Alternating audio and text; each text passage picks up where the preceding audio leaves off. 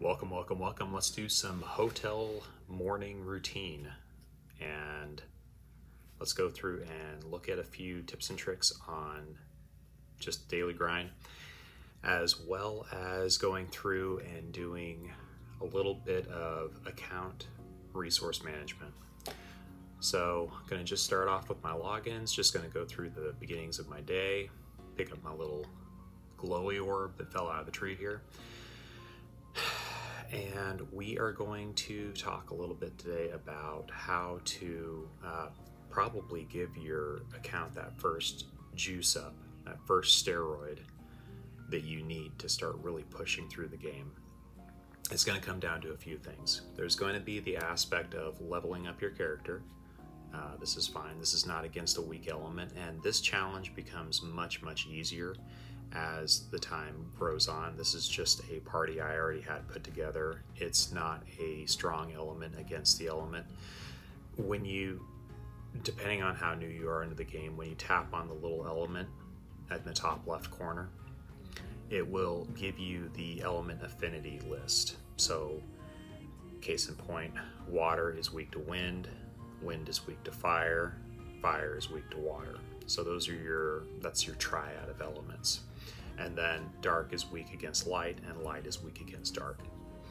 So let's speed this up a little bit. There we go. All right. and so when you're building your teams, especially for when you're just able to bump into something and just absolutely obliterate it. That's not a problem. You can just do whatever element you want, whatever element is strongest. Uh, oftentimes, from what I've seen, dark and light tend to be the strongest elements because they don't have the same degree of opposites in the game. If you're playing a water team in the game and you are going up against a wind team, then it's going to it's going to hurt. It's not going to go very well for you. And if you're playing against a dark team with a light team, yeah, those two are opposites to each other. I got a whole lot of memoirs here from farming. So the blazing event is still going on. Let me actually take a look at this real quickly. So let's go through first and look at our notices.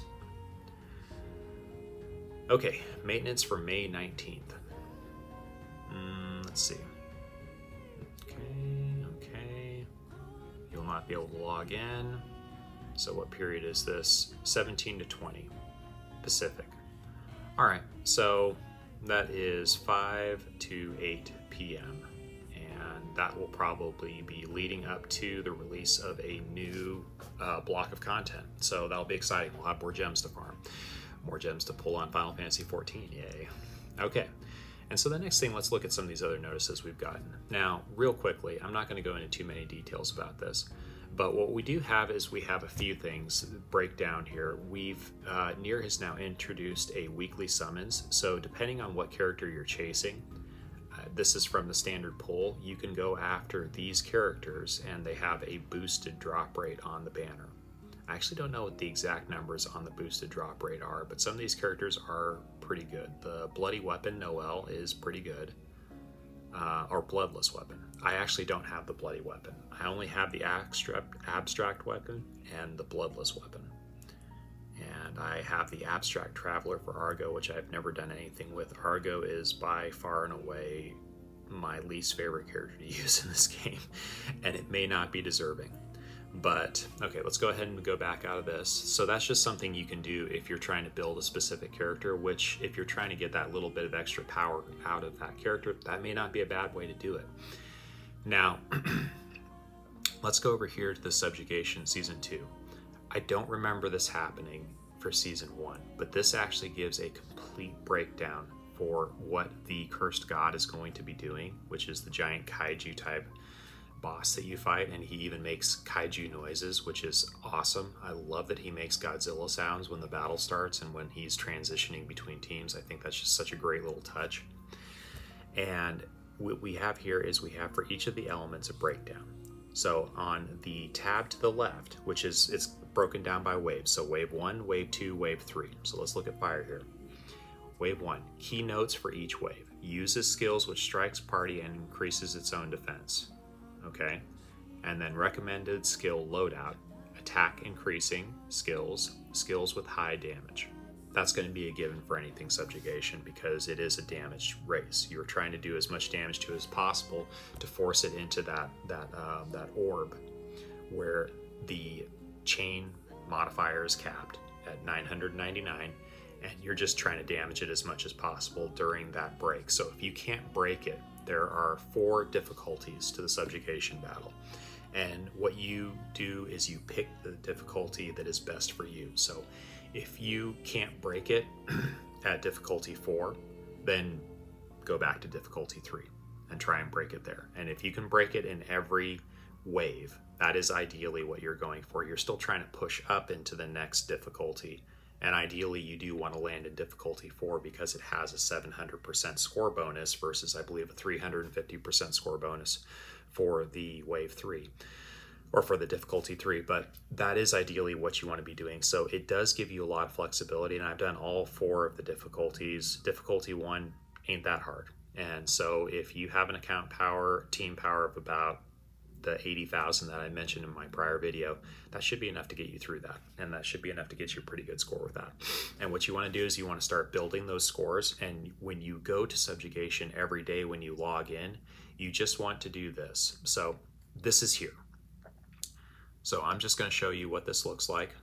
And if you're happy with your score, and sometimes this is better to do because sometimes you want to be doing your experimenting without collecting the rewards.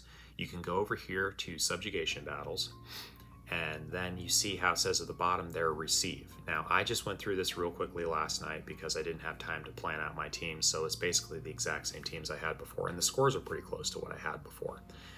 And so you can see this right here. Uh, I did not do very well on light and my dark is not at the SSS yet. So we'll just go here, I'll click receive and then you can click confirm and it gives you the rewards. You don't even have to go into the match. So if you've already beaten the subjugation battle for the specific element once before, you can just click claim, receive, boom, got it? And I'm just gonna go through and do these real quickly. Okay so on and so forth. And now I don't have to worry about those for the rest of the day. Now I can take this at my own leisure. So that's a good thing to do because again, you're getting materials that are useful for crafting, enhancement materials for your characters, and you're also getting those bronze, silver, and gold coins. Not too many. You're getting a small energy pot, you're getting some gold. It's all around a good thing to do every day. So when you get the chance, go into subjugation, build those teams. It won't be pretty at first. It's going to take a lot of fine tuning to make a subjugation battle work. But go in there, at least get through it, and at least just collect those rewards every day because those rewards do build up, especially Sunday when the rewards roll over and you get the bulk rewards. Okay, so there's that. Now, let's see, what do we do next? Sometimes I like checking in on my arena just to see where I'm at. I'm still doing pretty good there. Now that score will, my score, I'll get bumped out of the top 100 as soon as the weekend comes and I'll have to fight my way back into top 100. I don't, I think the highest I've gotten is rank 22 or 26 and I did that once. It was a grind. I just don't have the time or patience to do that every week. So I did it once. It looks great on my character profile. Yay. But I try and break into top 100 every week just so that I could get a little a little extra reward and it doesn't take a ton of work. It's a lot of it is just hunting for teams. I'll show you what that looks like right now. Okay, so we've got some teams. My attack power is 257. Now, attack power doesn't mean everything. Attack power is just basically how the game is calculating your raw stats. The things that are important, typically in Arena, now there's there's kind of two ways that I see people going and there's extremely fast where the entire team acts before your team and then there's really tanky where you allow the other team to act before you and while all of your abilities charge up and then when they've exhausted all of their abilities and you're still all alive now you get to build that combo. Now you get to go out. So again this team is not optimized. I don't have my memoirs optimized over here. I don't have them in pair in sets. And this is just something I kind of slapped together again, but it seems to be working. Celebratory Gunman Dimos is amazing because he increases your defense. I'll show you this right here. This is a character I actually did chase because it's such a cool character. We got this right here. Attack down by 50% for the entire enemy team for 45 seconds and the defense up for your team by 50% for 45 seconds. And that happens right at the beginning of battle. So right when he gets a turn, boom, that thing fires off. So my Gail is my fastest at 1650. I could have her much faster than that. I could have her go over 1900. And then she's lapping characters. But I'm sacrificing a lot on the attack and the crit rate side, even though her crit rate isn't very high. And then I have Levania, who is my beast. I, the dude has over 100,000 attack power just by himself. He's just an absolute monster and I actually do have him in a partial set, a few other things. I have him using his own weapon, which may or may not be optimal. His agility is okay. He does get lapped by characters, but I can show you what that looks like in an actual fight. And I try and go for teams that, okay, so we have, now he is resistant against light, but he is using a dark weapon, so that sort of counteracts. Now, I don't have his Okay, so if we go over here, I could even lose a little bit of agility to put on this guy right here. Oh, I don't lose any agility. Now this also gives me, this is a nice Curse God weapon, Dim Luminous Guard. It increases my dark damage by 20% and my light damage taken down by 20%, which is fantastic. So I'm gonna go ahead and equip that guy. I don't know why I didn't have it equipped before. I think I just really liked the feel weapon and I was playing around with it a little bit and we are going to switch this companion to a light resistant companion, which is Yi Grimoire. And we've got water resistance, we got light resistance, and let's go up against this guy. You never know with a Lars team. Lars teams are powerful. If Lars is built right, that sucker just melts you. So let's see what we got here. Let's kill him first. And I'm going to slow down speed a little bit just so that I don't have to be complete. Wow. Oh, that Gail. Ooh, ooh, this is going to go badly for me. Yeah, that went super duper duper bad for me. Oh my gosh. that was terrible. Terrible time. You know what? I bumped into this team before and this team wrecks me every time. It is so fast, and I don't know what that guy has done to that Gail, but she is so doggone powerful. She probably has one of those sets on that gives a big increase to attack power. Jess Brack. All right, whoever you are, Jess Brack, good on you. I'm not fighting you again. That was awful. Okay, so this is something you can look for. This is the smart way to do it. When you're building up over the course of the week, you find a team because people will leave their teams um, to a one character or just a low power team so that you could farm off them. And it's just a courtesy that people do in Arena. And you can just go through and wreck them. Get a few easy points. I get my score back it's a nice, easy way to stay up and also a way to get those arena coins, which is very convenient. Those arena coins are one of the ways that you get those black pearls for enhancing your weapons, and they are super duper duper duper duper duper rare. Here we go. Hey, good luck. Okay, I'll, I'll end with this one, but this is just an example of what you can do. There will be people who leave behind their teams with low power so that you can farm off them, and that is a very nice consideration on their part, just so that uh, everybody can get a little bit of extra coins over the course of the week, and then they put their big defenses back on on the weekend while they're trying to climb up in the ranks. So it's a nice little courtesy. Okay, so we're going to go ahead and leave that. Now let's talk about a few little aspects of the account characters. With the Final Fantasy XIV collaboration Gale now out, let's take a look at her versus A2 which was another limited unit that we had. So we're going to go over here to our characters. And first we're going to look at A2 because I've got her maxed out. Okay, so a few things you'll notice here. Her critical rate is at 30%. That's nice. There aren't a whole lot of characters that have built-in 20% bonus to critical rate in their kit. And so let's go over here. Let's do a long press on her actually get different information. I don't know why they do it this way. But if we go over here to her bonus, this is something that comes, by the way, from those character quests that I showed you in my previous video. Okay. So these bonuses come from being leveled up to a certain degree. Okay. So this is what you get every time you level. So 70 is the cap for the first tier, and then you get your advanced handbooks or your duplicate character. You go up to 75, 80, 85, etc. And these are the stats that she's getting every time she bumps up, which is nice. But the Mythic Slab, to be perfectly honest, completely overrides this. You are getting much larger bonuses from each time you upgrade a Mythic Slab tab. Let's go over here to rank 10 though. Okay, now this is something that you can pick up just by doing those character quests. So this is the character quest one, and this is the character rank, rank 10.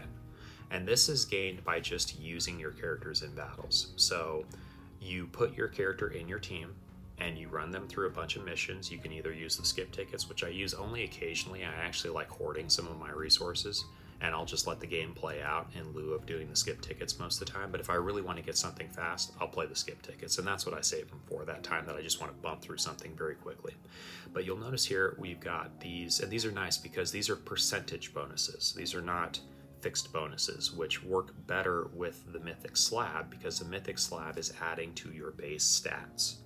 And so when you have a fully flushed out Mythic Slab board, um, it increases your stats tremendously and those are the base stats. Those are not the stats being provided by the equipment the memoirs or the companions. Those are the three other sources of stats uh, that you can gain from and those do not multiply off of your um, off of this. This is purely base stats. So we got 1% attack 2% that is a additive so hit points 1500 etc etc so this is nice. Now let's go ahead and look at this right here. We've got Ambush. Critical rate up by 20%. That is in her character abilities. And then we've got Vigor, attack up by 20%. Okay, good. Bludgeoning multi-strike. Now this is what makes A2 such a hard, hard, hard hitter. First of all, it is a gauge level C, which means it recharges really fast. It's one of the faster recharging abilities. That's fantastic. 130% damage times 4, so decent your EX characters, uh, like Levania, for example, is, I believe, or actually Mokojo, I think he's uh, 5 or 200% times 5, I think. It's something, let me double check that real quickly.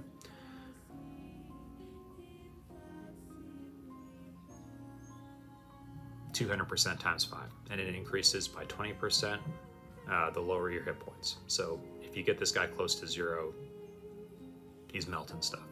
Levania is another really good one. This is 200% times 5 and decreases defense by 30% for 30 seconds. This is a really good ability, and this is one of the reasons, this is one of the things that makes EX Levania so doggone powerful. He has a defense break in there, which increases the damage of your entire team, and he's got 200% times 5. So keep that in consideration when we go back to A2 here. All right, let's actually do a long press. All right, let's go back over here. Okay, so, back on the ability, 130% times 4, deal an extra 40% damage on critical hit. Okay, this is where the damage starts piling up. And if we go over to our loadout here, and we look at, for example, let's just look at quests. Let's go over here. Yeah, mix is fine. Eh, okay, let's just go to this right here. So let's take a look at Levania here. Now, I could push up my critical hit rate a little higher. I usually have a memoir in my loadout that boosts my critical hit rate. Sorry, memoir. I keep saying that. And I made that mistake in my last video. Companion. These guys up here at the top right, these are your companions, not memoirs. The memoirs are the things below them. Okay, let's not make that mistake again. Your companion, there's the fire one right over here. And these, by the way, the companions are farmed from the story quests. All you have to do to get every single companion, sans a few, which are limited. There's uh, the Moogle right now going on for the Final Fantasy XIV event. That is limited. So after the event is over, you will not be able to get that companion anymore until a Final Fantasy XIV rerun. Same here with the one that I'm using, Grimoire Weiss. This was limited as well. Same with this dragon here. This was limited as well and same with another dragon for the Drakengard collaboration. A few of these are really good. Grimoire Weiss, really awesome. Okay, but let's go over here and I'm going to show you this guy, which was the fire one. And we have this ability right here. Deals 340% damage and increases critical hit rate by 30% for 60 seconds. That that companion right there is typically why I build my teams at 70% when I'm just going through normal missions. Because I can choose to fire that off really when I need to slap down some damage, and then I'm able to build up my other stats, i.e., my crit damage, which is A2, very important. So my crit damage, because she's doing an increased 40% on top of the 219% say that I had for Levania there. So that is a lot of extra damage. And that's why she hits so hard. Now let's go back over here to the new character we've got during the collaboration. We're going to go over here to Final Fantasy XIV Noelle, who, in my opinion, is very comparable to A2 in a lot of ways. She's a similar kind of unit. A couple of differences though. If you look at her attack here, 4967, and that's at level 70, by the way. And then you look at A2, 6050. Okay, at level 90. Now, remember, her attack is going to go up quite a bit. Her attack is going to go up over 7,000. So that right there is going to be a big bump in power. And then we've got her ability, which is more important. As a mythic slab, the ability damage modifiers are now more important in a lot of ways than the raw stats because we can pick up the raw stats from all over the place. So first of all, she has vigor, and that's going to go up to 25%. So she's already got higher boost, just raw boost there, than A2 and this guy. 120% times 5, okay, so it's not 130% times 4, critical damage increases by 60% and increases attack by 15% for 30 seconds. This is huge. This sucker, when this is fully, when she is fully leveled up, is going to do so much damage. I mean, she's going to blow stuff up. So this goes back to the point. When you're first starting out and when you're first trying to push through the earlier game contract, uh, content, i.e. the dungeons, because that's where you farm your memoirs from. Hey, I got right that time. So you're farming your memoirs, and that's a big boost to your power. If I go over here to, let's go to a loadout, and let's just take a look at my Noelle over here. Okay. All right, so I've got her at 86% and 194%. Now, that's going to bump up 10% as soon as I unlock her level 75 because she has a passive ability that increases the entire group's crit rate. And I was wrong on this one as well because I wasn't reading it. Didn't have it right in front of me, but increases the whole group's rate by 10%, which is great for building your team because then you don't have to focus on the memoirs, for example, that have, oh, I don't have crit rate on this one as a primary. I have crit damage because I really want to bring out that extra power and crit damage if you've got high crit rate and good attack, crit damage is one of the single most powerful stats that you can add to your character because, again, whenever you crit, you are increasing your overall damage by 25% just from this memoir alone. And then it's got a few other stats in there which are useful. And this secondary ability is also very useful. If you have a set of two, crit rate is up by 10%. If you have a set of three, crit rate is up by 15%.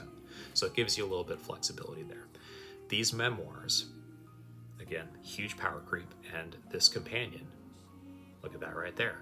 Hit points 10,000, attack 1,000, defense 800. And it's giving you, in addition to that, your light damage for your whole group increases by 20%. Now, these companions are not stackable, so you can only have one at a time offering a beneficial ability and one at a time offering a negative ability to the enemy. So if we go over here, Grimoire Weiss, which I told you about, Void Shutdown, this decreases dark damage taken by 20%. This is hugely important when you're building your team. You want to decrease the damage that the other that the enemy team is doing to you, and you want to increase the, your dam, the damage that you're doing to them. And then the third the third memoir becomes kind of a toss-up. If you need healing, you put in something like the, the Moogle there because he heals you 30%, but it can only happen once per battle. If you want that extra crit rate steroid, an extra attack steroid, or a few other things like that, you put in a companion that when it fires off an ability, it, it gives you that extra that extra boost. Okay, and so then we're going to go over here to the quests again. Now these guys right over here in the subquests, after you've completed the main story, okay, you're going to do it. There's going to be three settings. There's going to be normal, hard, and very hard. And as you progress through the story and unlock the different difficulties, I just say go through on normal, finish it all. By the time you get through everything on normal, you should be able to go through, and if not, do most of it on hard, a good chunk of it. And then you just work through the story as you go. And as you build up that one carry character, this is the this is the cool thing about this. When you're first building your account, all you need is one very powerful character. So all you need is one super carry, like a Noelle or like an A2, or like plenty of other characters in this game which have high attack. You get rewards for every event for your mythic slab. You just start dumping mythic slab into that character, building them up a little bit because you only really need one carry for most of the early content. And then you start enhancing their weapons, whether they be three star or four star weapons. You start enhancing their weapons because the weapons add a good chunk of stats, and you start clearing through the content. And then what you find yourself doing is you can have one carry and two spares basically. And so we'll go over here to character quests. Now, when you unlock a character, you unlock their character quests. When you unlock this, you also unlock their dark memory as well. This is something that we will have to go into a fair bit more explanation about because it is not very well explained in the game. And uh, there are resources online. There are plenty of resources. If you just want to skip ahead and Google dark memory, there are efficient ways. Eh, I won't call them efficient, but there are more efficient ways to go ahead and get those dark memories, zenith brilliance, and a few other things farmed. I'm not going to dwell on that for too long, but if you're going to be building a list uh, that you want to prioritize, start with the basic story, go through, build one character up super strong. Okay? Get that character built up, get their weapons, get their memoirs, and again, these are the memoir dungeons right here and you can go through these at your leisure. And if you get a strong carry, you will be surprised at how quickly you can progress through some of these. Now, I believe starting at floor 8 is where you start getting your 4 star memoirs, and those are the ones you really want to chase. So if you can make it up to floor 8, you're doing really, really well, and then you can progress from there. You're going to look for memoirs with different abilities, there's going to be different sets. These last two dungeons, you don't have to worry about them. These are dungeons for the arena okay? So don't worry about farming those. This guy is probably one of the best because it has your crit rate, it has your crit damage, it has your attack percentage and a few other increase set increases that you really want to be chasing in the early game. And if you just can't do any of them, the Dynast is fairly easy to get through, has some great sets in there, and you can do it. So we're just going to go ahead and leave it there for today.